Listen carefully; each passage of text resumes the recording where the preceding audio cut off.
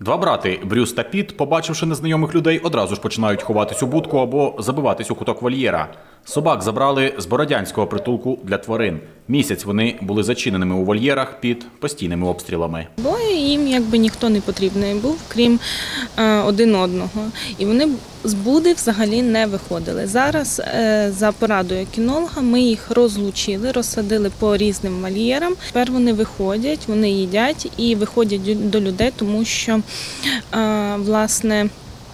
Їх е, порадив кінолог годувати, е, ну щоб людина підходила, годувала і потім їжу забирала. Тобто привикали до людей. Тобто людина, щоб вони розуміли, що людина несе їм їжу, і вони до людини мають виходити. Разом із Брюсом та Пітом у центрі захисту тварин перебуває ще три собаки з бородянського притулку. Нині з ними усіма займаються психологи та кінологи. Головне завдання повернути тваринам довіру до людей. Частину їх колись відловили, і просто вони сиділи кілька років закриті в принципі у вольєрах, і ними ніхто не займався. Плюс наклалося те, що вони місяць перебували без їжі, бо води, і на їх очах помирали інші тварини. Частина з тварин вже почала виходити із вольєрів та їсти з рук працівників центру. Наприклад, з фініком вже можна гуляти на повідку. Почала виконувати собака і найпростіші команди.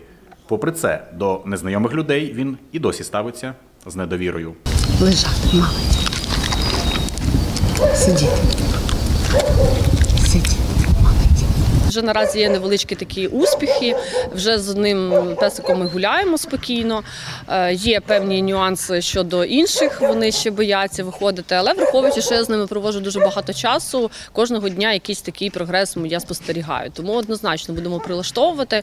Немає мети в нас їх залишати. Ну, кожної тварини має бути родина. Нині ветеринарам вдалося відгодувати тварин та стабілізувати їх фізичний стан. Зараз з ними працюють психологи та кінологи. Коли тварини стануть довіряти людям, їм почнуть шукати нові родини.